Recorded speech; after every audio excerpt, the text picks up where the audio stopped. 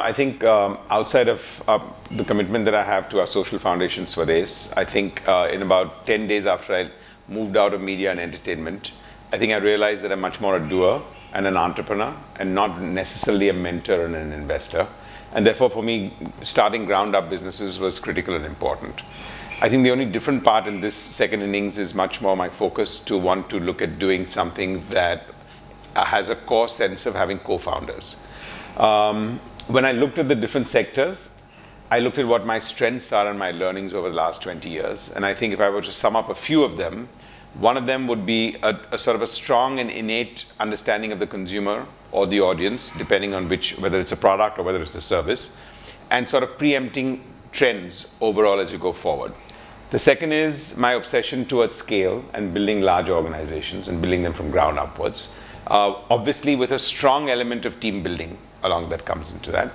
Third is brand. I think in India, people don't think brand that actually adds and becomes a catalyst.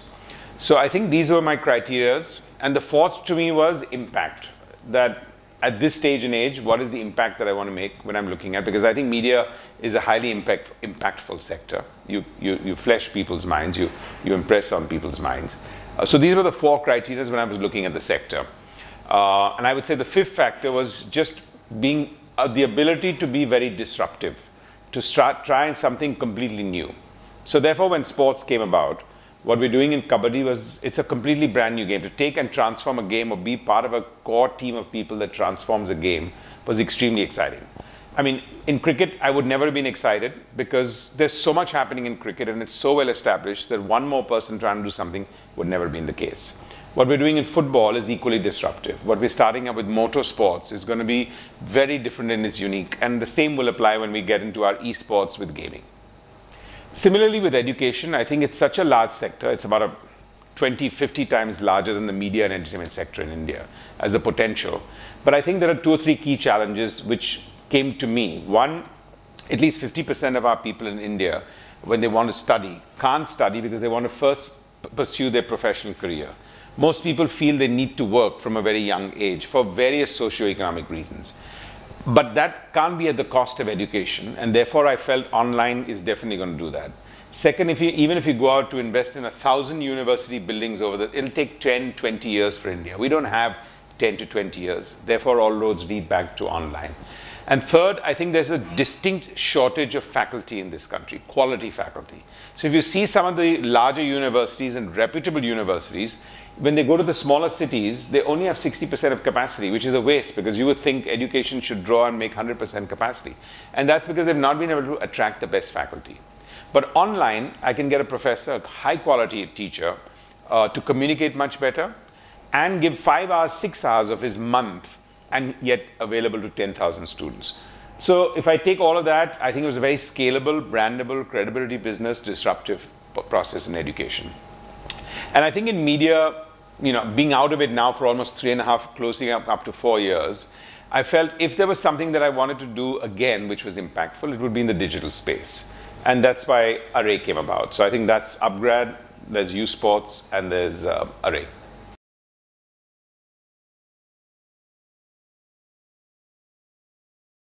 You know, I think the league definitely, I would say that most people were expecting it to be successful, but maybe over a one year, two year period. So I think the surprise success was that it happened in the first season. Uh, and there were some distinct reasons for that because you take a massy sport like that, in that 40 minutes of the game, it's a, it's a very sharp game. In 40 minutes, it's action packed. It's gladiators. It's like action, Bollywood style in many ways, is gladiators. And yet, it's a sport identity. If you put all of those three together, and then you make the men even look slightly hot, put them on a map, add a lot of glamour, and what Star has done to make the coverage absolutely brilliant and take the sport to the next level in terms of promotion.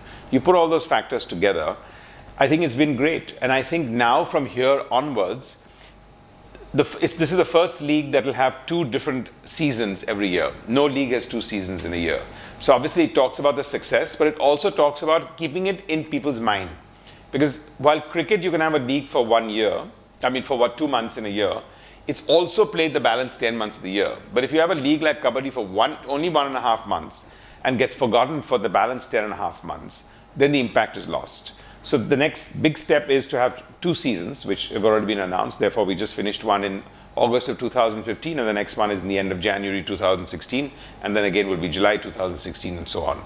Um, I think over a period of time, and I'm not a spokesperson for the league owners or for the for the uh, for Mashal and the league owners, but I think expanding the team from the present eight to 12 and 16 would be the right way to go because then you get a lot more states, a lot more cities in which it's getting played for. The third, I think, is venues. We have a big challenge in terms of the fact that we need at least 10,000 people venues. We don't need the 50,000 people venues because kabaddi is a little bit of a personal sport. You won't enjoy the game if you're that far back so it can never be a stadium sports like football is and cricket is, but it can't be only a thousand people. So I think the investment into infrastructure is going to take place. Fourth, I think advertisers and sponsors need to really get that. But I think the audiences are way before everybody else. And that's always great.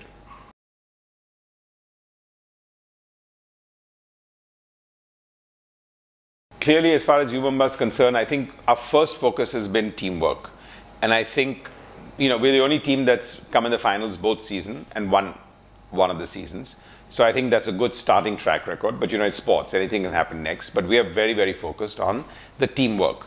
So from day one, I think we've kept a strong team. We've nurtured, we've all grown together from that point of view. And I think even in the season three, uh, we will see that we're the only team with a full same team of season two. Most of the other teams are going to go through some sense of change. If I read what I read um, with the information that's been given to us. So that's been our primary focus. Second, we're constantly evolving and uh, looking for new talent. So I think our sort of Future Stars program and on the ground activity, Pan India, where we're looking for the next big stars of Kabaddi and the young stars, is something that puts us as an edge. Uh, sponsorship wise, I think we're definitely looking at a 3x, 4x jump. So, you know, I think the, the first season we had, uh, the second season we had eight sponsors. Uh, and this season coming out in Jan 2016, we're looking at 15 sponsors. Um, yes, there's been a fair amount of interest. I think there seems to be still the perception problem with advertisers, absolutely wrongly so, that kabaddi is mass sport. Whereas actually it's as much being watched in urban cities. The kids have taken for it. It's the only sport with 30% female viewership compared to cricket or football. So obviously it's hitting the high points in the top of the pyramid sector also. Now, all advertisers take one to two years, three years. They're always behind the trends for anything that happens, frankly. They moved, you know, they, they lost the digital plot, they lost the, the, you know, the new media plot, and I think to that extent it'll take them. Now, maybe 50% is just their convenience of not facing up to it because then they have to pay the right rates for what they want to do. I think 50% is they're just beyond the time, behind the times. Uh, so that's a process that we will go out there and pitch and educate. But I think we're quite clear that if you look at where uh, IPL is pegged and where ISL and the Football League is pegged, Kabaddi can't be, we are, we are the number two sport in the country. There's no question about that. Now, there might be some uh, media dispute on the fact is football number two or Kabaddi number two, but any rating agency will tell you that our ratings are 1.8 times that of football at any given stage during the matches. And that's really what counts. So if a sport is higher than football, why should it get one-fourth the rates of football? And I think that's pretty much our take it or leave it approach when it comes to advertisers, which we're doing right now.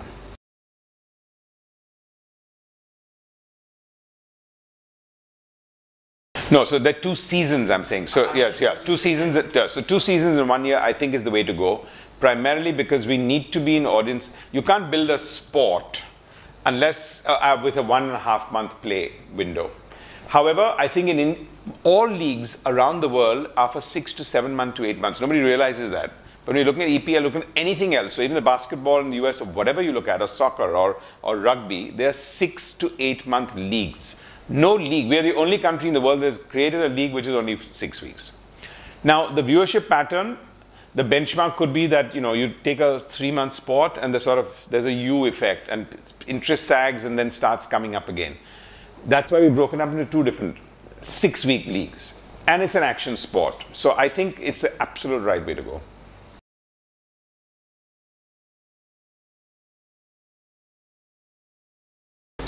So I think in sports, we're definitely looking at these four sports, which is kabaddi, football, moto, which is biking, and e-gaming, uh, uh, e-sports, which is gaming.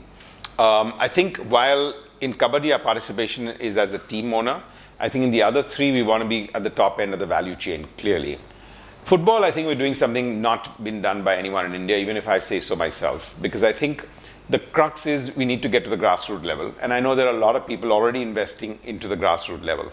But the differentiator for us is you can't do six weeks, six month courses with kids. Firstly, you need to catch them very young. So our entire initiative is for the under 12, under 14, and under 16 age group. Second is we, we pamper our kids in India. All of us get pampered. We've all got pampered, and now everyone else gets pampered. And you know, you cannot work with a disciplined sport to become a sporting champion if you're in a pampered environment. And therefore, we were very clear we wanted to move this out and send them to the right venue. And therefore, we've tied up with the Bundesliga and are sending between 60, about 50 to 60 kids every year um, under 12, 14, and 16 to Germany for six years of training.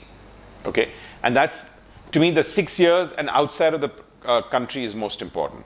And I think our biggest challenge is not really to tie up with Bundesliga, which was obviously a challenge, or to select the kids, but to convert the parents' mindset. Because I think today we're not a sporting nation DNA. So for a lot of people and parents, they don't feel it's a good career option or an aspirational career option for their kid or their son, as the case may be, to become a sports person and to become a sports star. So that has to change. And I think we're doing a fair amount of this thing. But the bottom line is we're sending these kids for six years of training and then we'll manage their career thereafter. So it's not a social project, but it's going to be a 10 year view that we've taken on football as a sport. Six years, they're going to be there fully and training. And the brilliant part is that when you get to that level of discipline, that means every weekend you're playing game with peers because they'll train during the week in those, right now it's Hoffenheim and then we'll go to Wolfsburg and some of the others. But the key part is the games they play on weekends are with people at a peer level, which will only help them to get better and better with every passing day. And when you're seeing sport at that level, you know, your brain has to change, your heart has to change, your running has to change, your entire competitive spirit has to change. We are sending teachers from here so they continue with the ICSE course because otherwise it'll be a challenge.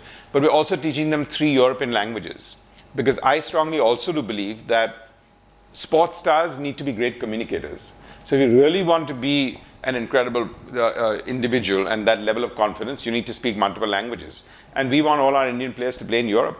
For that, they need to know multiple languages. So we can always have done that six years later. But day one, we're doing parallel coaching, we're doing parallel uh, educational curriculum continues and foreign language.